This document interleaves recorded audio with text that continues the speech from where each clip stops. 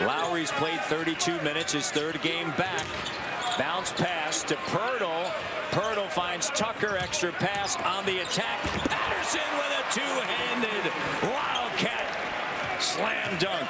And Jakob Poeltl, he's got great hands. That was a tough play he had to make to get that possession